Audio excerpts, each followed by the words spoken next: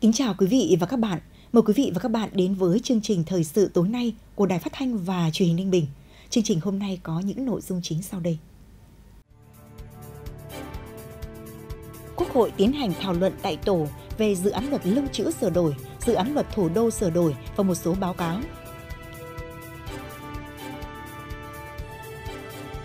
vùng kinh tế ven biển Kim Sơn được quan tâm đầu tư phát triển nhanh và bền vững, đã góp phần đưa thu nhập bình quân toàn huyện đạt 57,2 triệu đồng một người một năm, tỷ lệ hộ nghèo giảm xuống còn dưới 1,5% và vừa mới được công nhận là huyện đạt chuẩn nông thôn mới.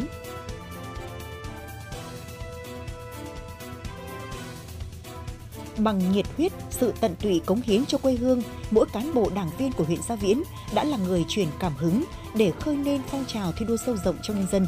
Đến thời điểm này, toàn huyện đã xây dựng được 60 khu dân cư nông thôn mới kiểu mẫu, 5 xã nông thôn mới nâng cao, một xã nông thôn mới kiểu mẫu,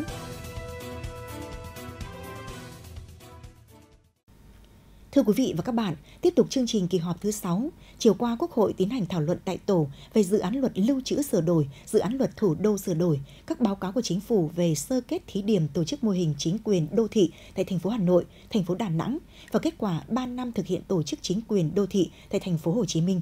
Đồng chí Đinh Việt Dũng, Ủy viên Ban Thường vụ tỉnh ủy, chủ nhiệm Ủy ban Kiểm tra tỉnh ủy, trường đoàn đại biểu Quốc hội tỉnh và các vị đại biểu Quốc hội tỉnh tham gia thảo luận tại tổ số 12 cùng với đại biểu Quốc hội các tỉnh Quảng Bình, Hưng Yên, Tiền Giang.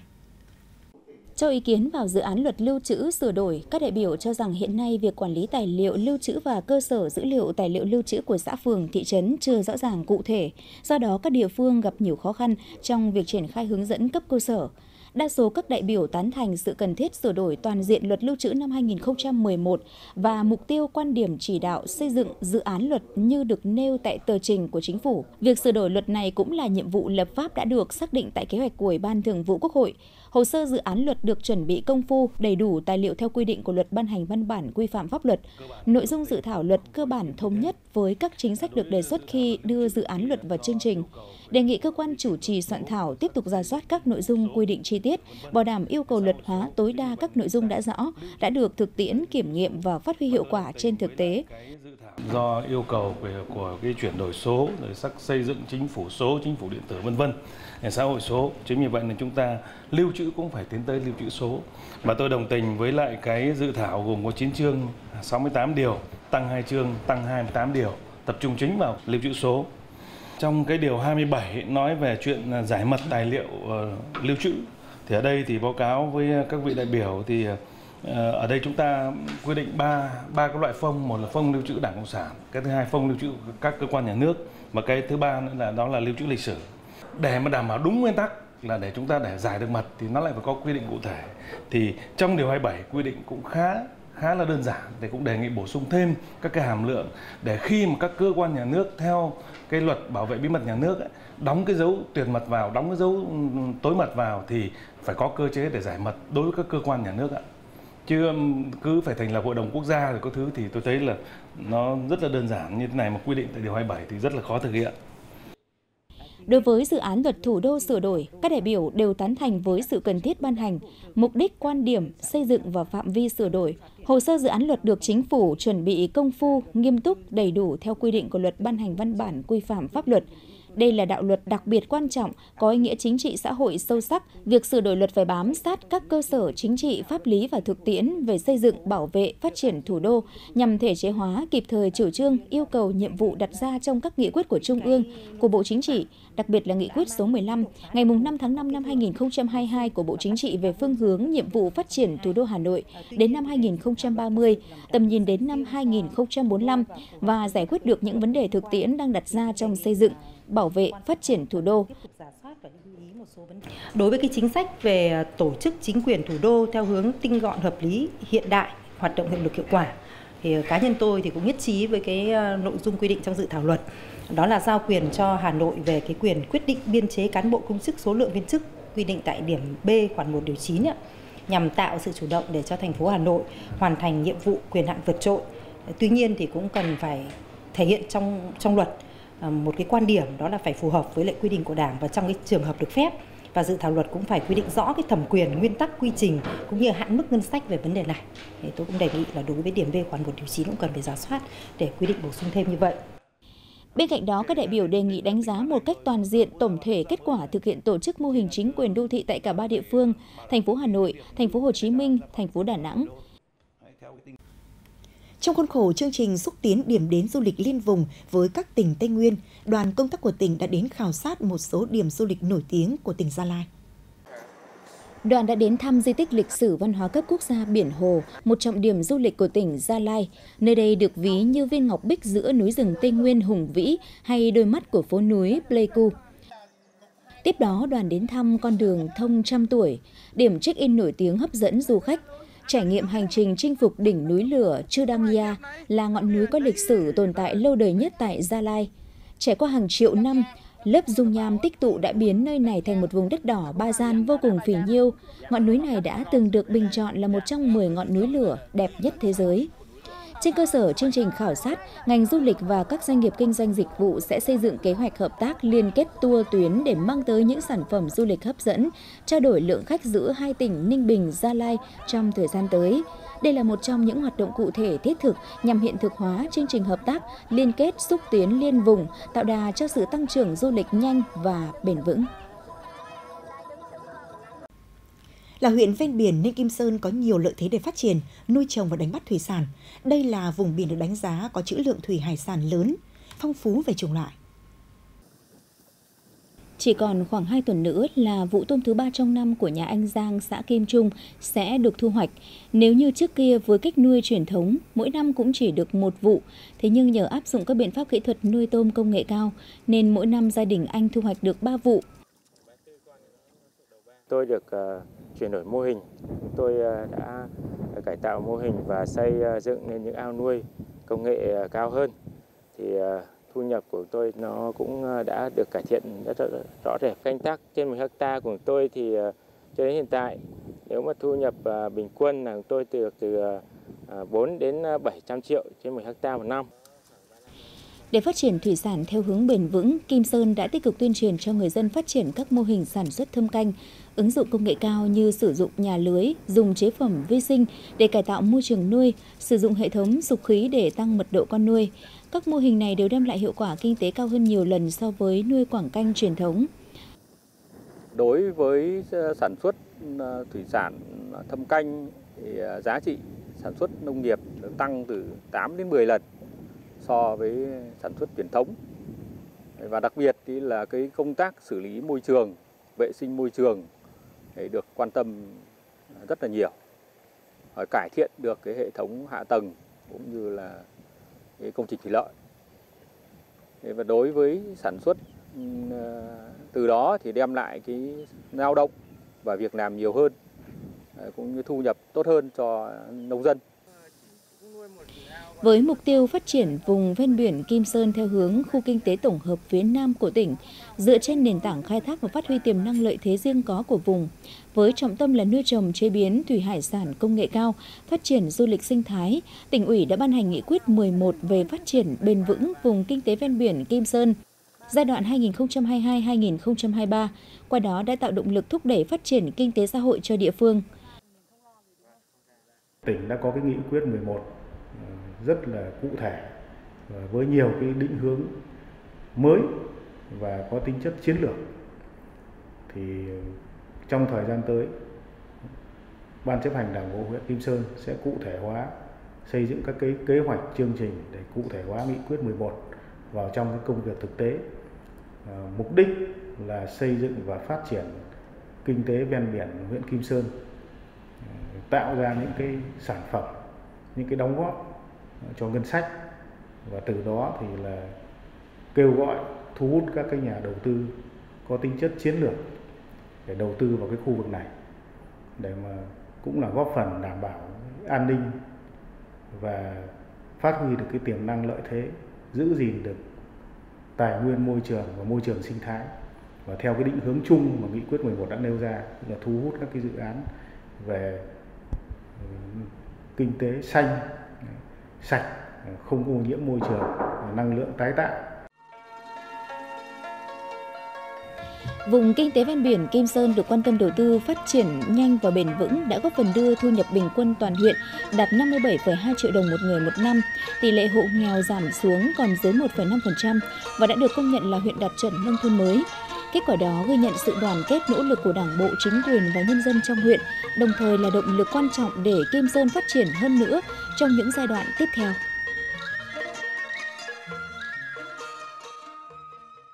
Bằng những cách làm sáng tạo, các tri bộ trên địa bàn huyện Gia Viễn đã khơi dậy và phát huy mạnh mẽ vai trò tiên phong gương mẫu của cán bộ đảng viên, tạo thành sức mạnh tổng hợp, xây dựng nên những miền quê hạnh phúc đáng sống. Chi bộ xóm Hòa Bình, xã Gia Minh hiện có 25 đảng viên, thực hiện chủ trương xây dựng khu dân cư kiểu mẫu. Chi bộ đã ra nghị quyết và giao nhiệm vụ cho từng đảng viên phụ trách hộ dân để nắm bắt tâm tư, nguyện vọng và tuyên truyền, vận động nhân dân chung tay vì lợi ích chung. Theo đó, phần việc khó nhất mà xóm cần thực hiện là chỉnh trang khuôn viên nhà văn hóa và tuyến đường khu trung tâm khoảng 1 km. Để việc chỉ đạo có kết quả, các đảng viên đã tiên phong làm trước, từ hỗ trợ ngày công hiến đất đến vận động con cháu tham gia ủng hộ, tạo đòn bẩy để nhân dân tin tưởng và làm theo. Khi chúng tôi đã xây dựng ờ, được cái ờ, xóm ờ, cụm dân cư kiểu mẫu ấy thì bộ mặt nông thôn mới là thay đổi diện mạo rất là rõ rệt đó là đường làng ngõ xóm cảnh quan ờ, rất là là, là, là, là sạch đẹp và đổi mới bà con ờ, rất là hài lòng xác định xây dựng nông thôn mới chỉ có điểm khởi đầu, không có điểm kết thúc. Do vậy, trong quá trình thực hiện các tiêu chí, các tri bộ trên địa bàn huyện Gia Viễn đã nhận thức rất rõ phải dựa vào nội lực là chính, lấy sự tiên phong của đảng viên làm đòn bẩy. Tư tưởng này được truyền đạt đến toàn thể đảng viên thông qua nhiều cuộc họp tri bộ và nghị quyết chuyên đề. Từ cách làm này, nhiều đảng viên tuy tuổi đã cao nhưng vẫn tiên phong đi trước tham gia, người thì chủ động hiến kế để xuất các giải pháp hiệu quả để vận động nhân dân chỉnh trang đường làng ngõ xóm, trồng hoa, cây bóng mát, vệ sinh môi trường, người thì hiến đất phá rỡ công trình để mở rộng làm đường, giúp cảnh quan môi trường khu vực nông thôn thay đổi sáng, xanh, sạch đẹp từng ngày. Như cá nhân tôi thì được cấp ủy phân công là phụ trách à, cứ mỗi một đảng viên là 25 đồng chí. À, thường xuyên là mình à, tuyên truyền vận động bà con đóng góp à, từ cái việc nhỏ đến cái việc to là luôn luôn là là chấp hành tốt để không ngừng phấn đấu xây dựng nông thôn mới. Sau khi mà triển khai cái nghị quyết mà thực hiện cái xây dựng nông thôn mới, tôi là một đảng viên. Năm nay là ờ, đã 50 tuổi đảng rồi. Với cái trách nhiệm của mình cũng vận động tất cả các đảng viên khác và vận động mọi quần chúng nhân dân thực hiện tốt cái, cái nghị quyết này thì nhân dân rất là phấn khởi, tin tưởng vào sự lãnh đạo của Đảng.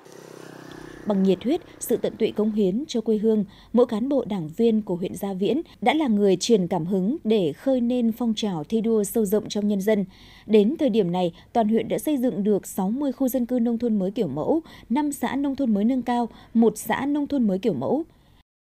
Đến nay, hệ thống đường giao thông thủy lợi nội đồng cơ bản là đã được bê tông hóa trong tháng khoảng 11, 12 năm 2023 này thì chúng tôi sẽ tiếp tục ờ, đón nhận thêm một khu dân cư nông thôn mới kiểu mẫu nữa. Đó chính là tại khu dân cư của Mai Sơn 2 cái phong trào xã hội hóa về việc ờ, ủng ủng hộ quyên góp để mở rộng xây dựng nghĩa trang nhân dân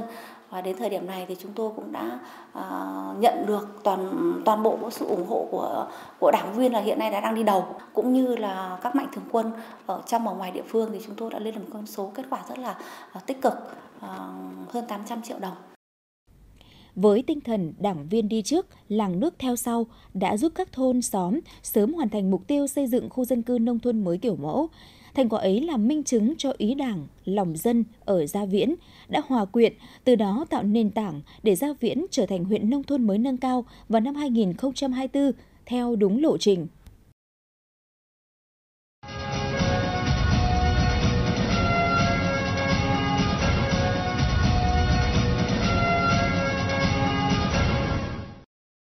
Kính chào quý vị các bạn đang theo dõi mục dân hỏi cơ quan chức năng trả lời. Trong chương trình ngày hôm nay, chúng tôi có mời đến trường quay Thượng tá Trần Vương Long, Phó Tham mưu trưởng Bộ Chỉ huy Quân sự tỉnh để cùng trao đổi làm rõ những vấn đề mà người dân quan tâm liên quan đến công tác tuyển chọn gọi công dân nhập ngũ năm 2024 cũng như là các cái chế độ chính sách của quân nhân và thân nhân trong và sau khi hoàn thành nghĩa vụ quân sự. À, xin cảm ơn ông đã tham gia với chương trình. Câu hỏi đầu tiên là của một người dân ở huyện Yên Mô viết thư về chương trình muốn ông cho biết rõ hơn về các cái trường hợp được miễn tạm hoãn nghĩa vụ quân sự theo luật, thưa ông? Tại mục 2 ờ, điều 4 của luật nghĩa vụ quân sự năm 2015 quy định, các cái trường hợp tạm hoãn và miễn thực hiện nghĩa vụ quân sự. Trong đó tạm hoãn gọi nghĩa vụ quân sự thì có 7 cái trường hợp. Thứ nhất là chưa đủ sức khỏe phục vụ tại ngũ theo kết luận của hội đồng ờ, khám sức khỏe. Thứ hai là là lao động duy nhất phải trực tiếp nuôi dưỡng thân nhân mà không còn khả năng lao động hoặc chưa đến tuổi lao động trong gia đình mà bị thiệt hại nặng về người và tài sản do tai nạn, thiên tai, dịch bệnh nguy hiểm gây ra và được Ủy ban nhân dân cấp xã xác nhận. Thứ ba là một con của bệnh binh người nhiễm chất độc da cam do suy giảm khả năng lao động từ 61% đến 80%. Thứ tư là có anh, chị hoặc em. Một là hạ sĩ quan binh sĩ đang phục vụ tại ngũ, hạ sĩ quan chiến sĩ đang thực hiện nghĩa vụ công an nhân dân. Thứ năm là người thuộc diện di dân, giãn dân trong 3 năm đầu tiên đến các cái xã đặc biệt khó khăn theo dự án phát triển kinh tế xã hội của nhà nước do Ủy ban nhân dân cấp tỉnh trở lên quy định. Thứ sáu là cán bộ công chức, viên chức, thanh niên sung phong được cử đến công tác và làm việc ở vùng có điều kiện kinh tế xã hội đặc biệt khó khăn theo quy định của pháp luật. Thứ bảy là đang học tại cơ sở giáo dục phổ thông, đang được đào tạo trình độ đại học hệ chính quy thuộc cơ sở giáo dục đại học, trình độ cao đẳng hệ chính quy thuộc cơ sở giáo dục nghề nghiệp trong thời gian một khóa đào tạo của một trình độ đào tạo. Thế còn trong luật thì quy định là các trường hợp tạm miễn có 5 trường hợp. Thứ nhất là con của liệt sĩ, con của thương binh hạng 1. Thứ hai là một anh hoặc em trai là liệt sĩ. Thứ ba là một con của thương binh hạng 2, một con của bệnh binh suy giảm khả năng lao động từ 81% trở lên. Một con của người nhiễm chất độc da cam suy giảm khả năng lao động từ 81% trở lên. Thứ ba là người làm công tác cơ yếu, không phải là quân nhân, công an nhân dân. Thứ năm là cán bộ, công chức, viên chức, thanh niên sung phong được điều động đến công tác, làm việc ở các cái nơi có điều kiện kinh tế xã hội đặc biệt khó khăn theo quy định của pháp luật từ 24 tháng trở lên. À, câu hỏi tiếp theo là của khá nhiều thanh niên trên địa bàn tỉnh. Muốn ông cho biết rõ hơn về cái hành vi vi phạm về đăng ký nghĩa vụ quân sự vi phạm quy định về kiểm tra, khám sức khỏe thực hiện nghĩa vụ quân sự, vi phạm về quy định nhập ngũ sẽ bị xử lý như thế nào thưa ông? Tại Nghị định 37 quy định xử phạt vi phạm hành chính đối với các hành vi trốn tránh nghĩa vụ quân sự. Trong đó quy định rất cụ thể. Thứ nhất là xử phạt vi phạm quy định về đăng ký nghĩa vụ quân sự thì phạt tiền từ 8 triệu đến 10 triệu đồng và biện pháp khắc phục hậu quả là buộc thực hiện các cái thủ tục đăng ký nghĩa vụ quân sự lần đầu, đăng ký nghĩa vụ quân sự bổ sung. Thứ hai là vi phạm về quy định về kiểm tra khám sức khỏe thực hiện nghĩa vụ quân sự thì phạt tiền từ 10 triệu đến 35 triệu đồng. Thứ ba là vi phạm quy định về nhập ngũ thì phạt tiền từ 30 triệu đến 75 triệu đồng đối với các hành vi mà không chấp hành lệnh gọi nhập ngũ.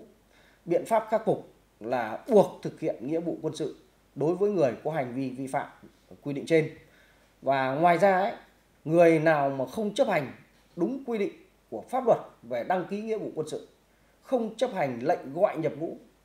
mà đã bị xử phạt vi phạm hành chính. Về cái hành vi này thì bị xử phạt cải tạo không giam giữ đến 2 năm hoặc phạt tù từ 3 tháng đến 2 năm. Câu hỏi tiếp theo là của khán giả ở thành phố Ninh Bình. Viết thư về chương trình muốn ông cho biết cụ thể hơn về quyền lợi cũng như là chế độ được hưởng sau khi hoàn thành nghĩa vụ quân sự tại ngũ xuất ngũ trở về địa phương theo quy định chung của nhà nước cũng như là các cái chính sách hỗ trợ riêng của tỉnh Ninh Bình. Thứ nhất là chế độ được hưởng thì à, được hưởng từ nguồn ngân sách nhà nước là được trợ cấp xuất ngũ là 4 tháng lương cơ sở, được trợ cấp tạo việc làm là 6 tháng lương cơ sở và được thanh toán bảo hiểm xã hội 2 năm công tác Đấy, là 4 tháng lương cơ sở và tổng số mà được hưởng ấy là 14 tháng lương cơ sở thì mỗi một quân nhân xuất ngũ sẽ được hưởng khoảng hơn 25 triệu đồng. Dạ. Ngoài ra ấy, thì được trợ cấp thẻ học nghề đấy, với trình độ là sơ cấp. Thẻ học nghề đó uh, có giá trị bằng 12 tháng lương cơ sở và có giá trị trong một năm kể từ khi cấp thẻ. Thứ ba là được tổ chức liên hoan, chia tay, tặng quà và được đơn vị là đưa về tận địa phương để bàn giao cho địa phương. Thứ tư là được thanh toán tiền phép hàng năm và nếu như mà chưa nghỉ phép, được tính bằng là 10 ngày tiền ăn của chiến sĩ. Thứ năm là hạ sĩ quan binh sĩ mà phục vụ tại ngũ thời hạn đủ 30 tháng thì khi xuất ngũ được trợ cấp thêm 2 tháng phục vụ theo cấp quân hàm hiện hưởng và trường hợp nếu mà xuất ngũ trước thời hạn 30 tháng thì thời gian phục vụ tại ngũ từ tháng thứ 25 trở đi đến tháng thứ 30 thì được trợ cấp thêm một tháng phụ cấp quân hàm hiện hưởng. Thứ sáu là chế độ đào tạo, học nghề, giải quyết việc làm khi xuất ngũ thì hạ sĩ quan binh sĩ khi xuất ngũ trở về địa phương thì được chính quyền các cấp, cơ quan, tổ chức ưu tiên sắp xếp việc làm và cộng điểm trong tuyển sinh, tuyển dụng công chức, viên chức và trong thời gian tập sự thì được hưởng 100% mức lương và phụ cấp của ngành tuyển dụng, tương ứng với trình độ đào tạo. Thứ bảy là được ngân hàng chính sách xã hội ưu tiên để vay vốn để tạo việc làm, để hỗ trợ khởi nghiệp ở địa phương đối với quân nhân mà xuất ngũ ở địa bàn của tỉnh thì cũng được ờ, tỉnh ờ, chỉ đạo các cái địa bàn các huyện tổ chức đón tiếp ờ, tổ chức ờ, tặng quà, tổ chức tư vấn giới thiệu việc làm và được ờ, giới thiệu học nghề và cũng được hệ thống ngân hàng chính sách của tỉnh, của huyện là ưu tiên vay vốn để khởi nghiệp và được cấp ủy chính quyền ở cơ sở, cấp xã phường bố trí ưu tiên về việc làm và được quy hoạch vào nguồn cán bộ của cơ sở. Xin cảm ơn Thượng tá Trần Phương Long đã tham gia với chương trình. Còn bây giờ sẽ là những thông tin khác của chương trình thời sự. Thời gian qua, huyện Nho Quan đã không ngừng đổi mới nội dung hình thức phổ biến giáo dục pháp luật phù hợp với người dân từng vùng, tạo chuyển biến rõ nét về ý thức chấp hành pháp luật trong nhân dân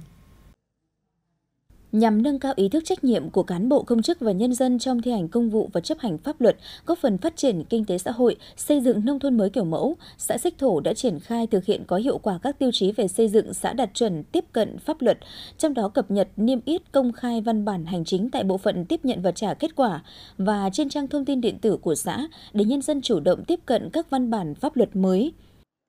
Với cái ờ, lộ trình hướng tới ờ, năm 2024 thì Xích Thổ chúng tôi phấn đấu về đích nông thôn mới kiểu mẫu. Thì trong cái đó thì cái công tác ờ, chuẩn về tiếp cận pháp luật thì chúng tôi đang hướng tới là dần là sẽ hướng tới một cái chính quyền là không có bạo lực. Về để làm được cái việc này thì chúng tôi quan tâm đến cái công tác mua sắm, máy máy móc rồi các cái phương tiện phục vụ. Đặc biệt đến nay chúng tôi đang có 10 thôn. Thì và trong 10 thôn thì đã đều có các tủ sách pháp luật. Ngoài ra thì các cái cơ quan đơn vị như trường học thì à, chúng tôi cũng đã đều duy trì được à, tủ sách pháp luật. Thôn Lạc Bình 2, xã Thạch Bình có tới 97% dân số là người dân tộc thiểu số, trong đó đa phần là dân tộc Mường. Để đưa pháp luật đến vùng đồng bào dân tộc thiểu số và miền núi, Phòng Tư pháp huyện Nho Quan đã tổ chức những hội nghị như thế này để tuyên truyền phổ biến các chủ trương chính sách của Đảng và Nhà nước, đặc biệt về chương trình mục tiêu quốc gia phát triển kinh tế xã hội, vùng đồng bào dân tộc miền núi cũng như giải đáp những vướng mắc liên quan đến lĩnh vực hôn nhân và gia đình, đất đai. Bà con chúng tôi ở đây là người công giáo, cho nên là chúng tôi cũng rất thuần túy. Xong rồi hiểu hiểu biết pháp luật là cũng cũng chưa được ờ, sâu được rộng. Chương trình này là chúng tôi cũng rất cảm ơn ờ, Đảng nhà nước và huyện Nho Quan tỉnh Ninh Bình đã về đây thì thôn xóm Lạc Bình hai chúng tôi cũng, cũng hiểu biết thêm một phần để cho thôn xóm chấp hành nghiêm pháp luật chính sách Đảng nhà nước. Để nâng cao hiệu quả tuyên truyền pháp luật với phương châm hướng về cơ sở, Nho Quan đã kiện toàn Hội đồng phổ biến giáo dục pháp luật huyện và phân công nhiệm vụ cụ thể cho các thành viên, triển khai đa dạng các hình thức, nội dung tuyên truyền, phổ biến giáo dục pháp luật qua tổ chức hội nghị tuyên truyền, quán triệt các văn bản luật, dưới luật, đăng tải trên các phương tiện thông tin đại chúng, tổ chức các hoạt động tuyên truyền lưu động. Cùng với đó, quan tâm chú trọng xây dựng và kiện toàn đội ngũ báo cáo viên, tuyên truyền viên pháp luật các cấp, Hiện nay toàn huyện có 286 tổ hòa giải với 1.768 thành viên. Hàng năm hòa giải thành công các vụ việc tại cơ sở đạt trên 80%. Qua cái, cái tuyên truyền ờ, về pháp luật thì giúp cho bản thân nên là uh, chấp hành cái uh, các cái chính sách chủ trương và pháp luật của nhà nước và tuyên truyền cho mọi người là cũng là theo chấp hành các cái chủ trương của chính sách và pháp luật của nhà nước. Trong cái thời gian tới, chúng tôi tiếp tục quán triệt và thực hiện có hiệu quả cái luật phổ biến giáo dục pháp luật và các văn bản hướng dẫn thi hành. Và đồng thời chúng tôi cũng ờ, thực hiện những cái biện pháp để ờ, ờ, nâng cao cái chất lượng và cái phương thức tuyên truyền giáo dục pháp luật. Đồng thời cũng tổ chức triển khai và thực hiện có hiệu quả cái tủ sách pháp luật ở cơ sở và ở các cơ quan, đơn vị. Xây dựng kế hoạch Ờ, 28 cái cuộc tuyên truyền tại ờ, ờ, các thôn xóm bản. Với việc đẩy mạnh tuyên truyền phổ biến giáo dục pháp luật theo phương châm linh hoạt, đa dạng về nội dung, phong phú về hình thức, kịp thời truyền tải những quy định pháp luật mới sẽ góp phần nâng cao nhận thức, ý thức chấp hành pháp luật của các tầng lớp nhân dân. Thiết thực chào mừng Ngày Nhà giáo Việt Nam 20 tháng 11, sáng nay tại trường Trung học phổ thông chuyên Lương Văn Tụy, Sở Giáo dục và Đào tạo đã khai mạc giải thể thao ngành giáo dục lần thứ 17 năm 2023. Tham gia giải năm nay có gần 900 vận động viên đến từ 40 đoàn tuyển gồm các phòng giáo dục và đào tạo huyện, thành phố, các trường trung học phổ thông, trung tâm giáo dục nghề nghiệp, giáo dục thường xuyên trong tỉnh. Các vận động viên tham gia thi đấu ở ba môn bóng bàn, cầu lông và bóng truyền hơi. Đây là dịp để những người công tác trong ngành giáo dục có dịp gặp gỡ, giao lưu, chia sẻ, học tập kinh nghiệm và thể hiện mình sau những hoạt động giáo dục học sinh, qua đó lan tỏa, đẩy mạnh phong trào tập luyện thể dục thể thao trong toàn ngành. Giải diễn ra trong 3 ngày, từ ngày 10 đến ngày 12 tháng 11. Ngày sau lễ khai mạc là các trận đấu cầu lông, các vận động viên đã công hiến cho khán giả những trận cầu đẹp mắt, có chất lượng chuyên môn khá cao. Theo đánh giá của ban tổ chức, năm nay các đoàn đều tuyển chọn những tay vợt xuất sắc tham gia tranh tài ở các nội dung thi đấu với mục tiêu giành thành tích cao nhất.